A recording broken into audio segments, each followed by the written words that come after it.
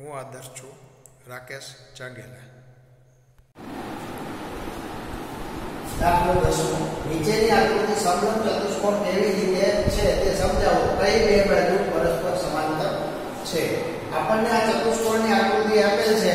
એ આકૃતિ સમલંબ ચતુષ્કોણ કેવી રીતે છે એ આપણે સમજાવવાનું છે. અને કઈ બે બાજુ સમાંતર છે એની આપણે વાત કરવાની છે. તો સૌથી પહેલા આપણે વાત કરીએ કે આ ચતુષ્કોણ ચતુષ્કોણની નિશાની છે કે એલ એમ એનમાં. બરોબર? ગુણો એલ પ્લસ ગુણો એમ એના બરાબર શું થાય? એલ એટલે એસી સો. બરાબર એકસો ને એસી તો એકસો એસી થયું. તો અહીંયા લખી શકાય કે ગુણો એલ અને ખૂણો એમ.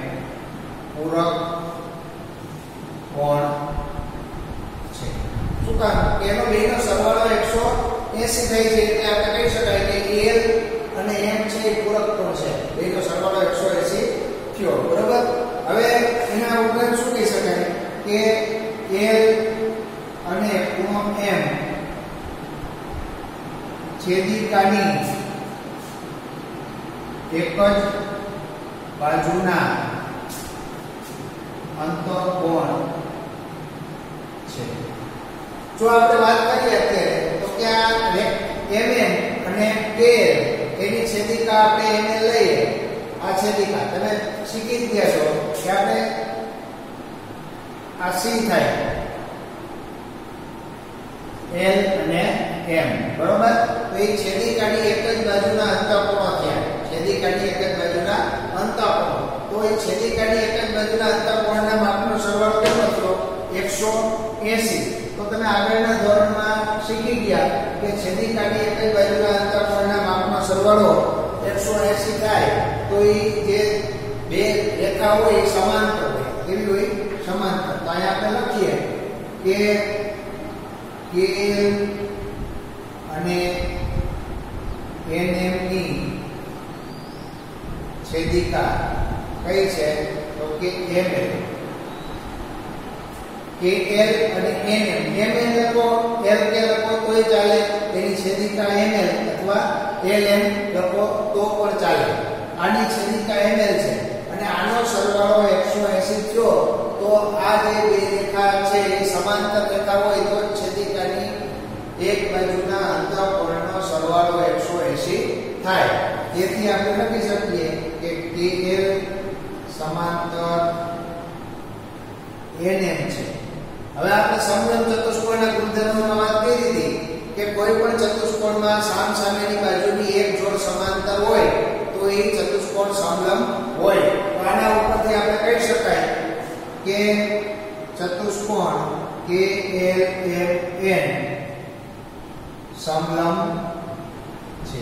આ ચતુષ્કોણને સમલંબ બનાવવા માટે શું આને બેને સમાંતર આપણે સાબિત કર્યું કે અને NM એને સમાંતર છે. ને સાબિત કરવા માટે કયો નિયમ બેઠો કે છેદિકાની એક બાજુના માપના અંતઃકોણનો સરવાળો 180 થાય. બરોબર? એટલે આના ઉપરથી આપણે કહી શકાય કે આ ચતુષ્કોણ સમલંબ છે. હવે દાખલો 11 નીચેની આકૃતિમાં જો એની સમાંતર BC હોય, તો માપકોણ એટલે AB સમાંતર છે કીધું છે, તો આપણે માપખૂણો શું શોધવાનો છે? આ. બરોબર? તો એના માટે શું કરીએ? તો આપણને આપેલ છે, શું આપેલ છે? તો કે ચતુષ્કોણ ABCD માં AB સમાંતર BC છે. બરોબર? AB સમાંતર BC આપેલ જ છે. હવે એના ઉપરથી આપણે શું કહી શકીએ? AB સમાંતર BC છે, તેની છેદિકા BC થાય. શું થાય? BC તો એ લખી કે AB સમાંતર BC ની છેદિકા શું છે? BC છે. આ BC ની છેદિકા. AB સમાંતર BC ની છેદિકા BC છે. બરોબર? હવે આપણે જાણીએ છીએ કે આપણે સમલંબ ચતુષ્કોણ છે. તો આ બે બાજુ સમાંતર છે.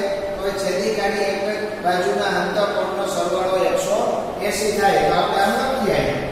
ખૂણો B ખૂણો બરાબર 180 શું કામ?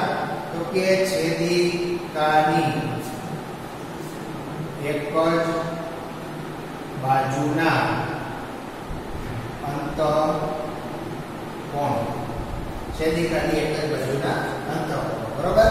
હવે આપણે કિંમત મૂકી બી ની કિંમત આપણી પાસે 120 છે. પ્લસ ખૂણો બરાબર 180 ખૂણો c બરાબર 180 ઓછા 120 ખૂણો c બરાબર સોરી 180 માંથી 120 જાય તો 60 થશે આ આપણો જવાબ થશે એટલે ગુણો સી છે એ આપણને 60 મળશે દાખલો 12 નીચેની આકૃતિમાં જો એસપી સમાંતર આરપી એસપી સમાંતર આરપી હોય તો ખૂણો પી અને ખૂણા એસનું માપ શોધો જો તમે માપ ખૂણો R શોધતા હો તો શું માપ ખૂણો F શોધવાની P શોધવાની અન્ય પદ્ધતિઓ હશે તો પહેલા આપણે આપણે રીતે વાત કરીએ કે ભાઈ આપણે આપેલું છે PQRS માં SP SP સમાંતર RQ આપેલ છે બરાબર તો SP સમાંતર RQ છે તો આપણે આમ લખીએ કે ભાઈ SP સમાંતર RQ ની છેદિકા કઈ છે SP સમાંતર તો PQ લખીએ અથવા QP આ PQ અથવા QP SP સમાંતર RQ ની છેદિકા છે. બરોબર?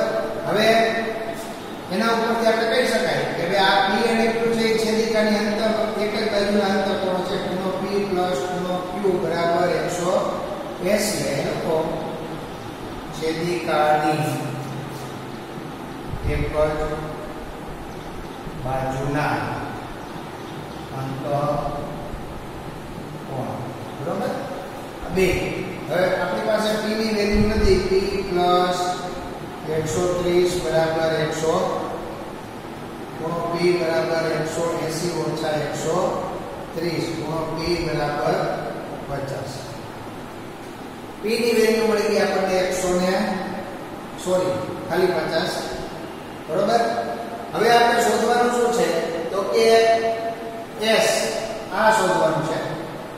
તો એના માટે એક વિચાર કરીએ આપણે બીજા ટેગમાં. તો આપણને આપેલ જ છે કે SP સમાંતર RQ બરોબર? SP સમાંતર RQ આપેલ છે. તો એની છેદિકા આપણે શું લેશું? SR અથવા RS ની છેદિકા RS અથવા SR છે. બે લખી શકો તમે. એમાં કઈ ફેર ના પડે. RS લખો કે SR લખો, એમાં કઈ ફેર પડે નહીં, હવે તમે જાણો છો. કે છેદિકા છે, સમાંતર રેખાની તો એના છે. છેદિકાની એક બાજુના અંતરકોણના માપનો સરવાળો 180 થાય. તો ખૂણો R ખૂણો બરાબર 180 તો આપણને R કેટલો છે આ કાટકોણ બતાવે છે? 90 છે. પ્લસ ખૂણો S બરાબર 180 ખૂણો S બરાબર 180 ઓછા 90 ખૂણો બરાબર 90 આ આપણો જવાબ થયો. આ બે P અને S ની વેલ્યુ આપણે શોધી લીધી બરોબર? તો એમ કીધું છે બીજી રીતે બીજી રીતે શોધવો હોય દાખલો કરવો હોય તો કરી શકો તમે. બીજી રીતે શોધવા માટે શું કરવાનું? તો કે આ કાટખૂણો છે તો આ કાટખૂણો થાય. ખબર જ પડે બાય ડિફોલ્ટ કે ભાઈ, આ 90 હોય તો આ 90 થાય. બેનો સરવાળો 180 અને ચતુષ્કોણના ચારે ખૂણાના માપનો સરવાળો 360 થાય. એ રીતે મૂકી અને આ ત્રણ ખૂણાના માપ ખબર છે આપણને એસ આર અને ક્યુ એના માપ આપણને ખબર છે. અને P નું માપ શોધવું છે તો